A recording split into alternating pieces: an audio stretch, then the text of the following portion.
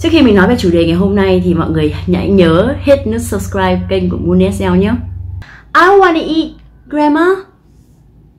I wanna eat grandma. Các bạn có thấy hai câu này có gì khác biệt không? Câu đầu tiên nếu các bạn để ý là gì khi mà Moon dừng lại có độ ngắt đúng không? I wanna eat Grammar. Có nghĩa là mình đang bảo là ba ơi ba ơi cháu muốn ăn. Còn cái câu thứ hai là gì? Câu thứ hai này nghe rất là ghê đúng không? Là trong trường hợp này là từ grammar bổ nghĩa ngay sau từ eat là ăn cái gì? Eat something. À, như vậy là mình muốn ăn grandma wow that sounds so scary. À, nghe rất là đáng sợ. Như vậy thì moon à, đây chỉ là một cái ví dụ vui thôi để cho mọi người hiểu được rằng trong tiếng anh ấy. Thì khi mà chúng ta ngắt nghỉ sai chỗ thì người ta hoàn toàn có thể hiểu sai nghĩa của mọi người đấy. Nó giống như là cái câu mà ngày à, bọn mình còn nhỏ thì thấy mọi người hay trêu nhau. À, khi mà chúng ta tập đọc tiếng việt ấy, đọc kiểu ngắt nghỉ không đúng chỗ thì thành ra là rắn là loài bò. sát không chân, đúng không? Mọi người cứ kiểu, cứ chịu treo cái câu đấy thì đấy thực ra là một cái ví dụ của việc là tiếng anh cũng như tống tiếng việt thôi.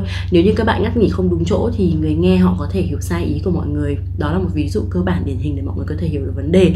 Nhưng mà cái vấn đề to hơn nữa đó là gì? Là khi các bạn nói tiếng anh mà không theo những cái cụm từ có nghĩa và không ngắt nghỉ đúng chỗ ấy, thì nó còn làm cho người nghe cảm thấy là rất là mệt mỏi, cảm thấy phải tập trung rất là nhiều để mới hiểu bạn đang nói gì. Mọi người ơi, mình vừa mới mua một cái cây.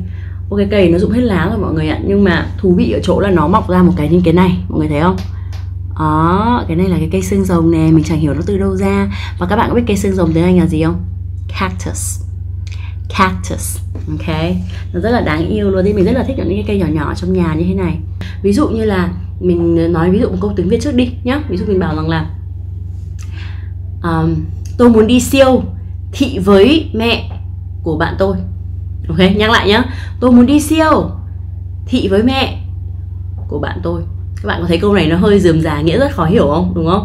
Và mình có phải đang chờ đấy siêu siêu gì? Tôi muốn đi siêu siêu gì? À, siêu thị thực ra nó phải là một từ nó phải đi đi đi cùng với nhau đúng không? Nhưng nếu bây giờ có một anh tây anh học tiếng uh, tiếng việt chẳng hạn anh ấy à, anh nhớ ra cái từ siêu siêu gì nhỉ?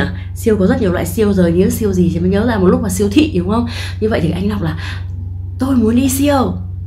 Thị cùng với mẹ của bạn tôi tự nhiên các bạn cảm thấy là cái câu này ngữ nghĩa của nó lại bị cắt nhỏ đi rất là khó hiểu. I want to go to the supermarket with my friend's mom à, nó kiểu như vậy đúng không? Mình ngắt ra. Thì lẽ ra mình phải nói rằng là gì? I want to go to the supermarket with my friend's mom thì mình lại đặt là I want to go to the supermarket with my friend's mom thì tự nhiên là ngắt ra cái phần là my friend's mom đây là là gì? Là mẹ của bạn tôi. Đây là một cái cụm mà mọi người lẽ ra là phải nói liền đúng không? Mẹ của ai? Của bạn tôi đấy là một cụm rồi. My friends mom phải liền nhau. Nhưng bởi vì mọi người đọc là my friends thì người ta hiểu là my friends là bạn của tôi. Nhưng lúc sau lúc sao các bạn mới nói là mom là à, hóa ra là lấy là mẹ của bạn thôi.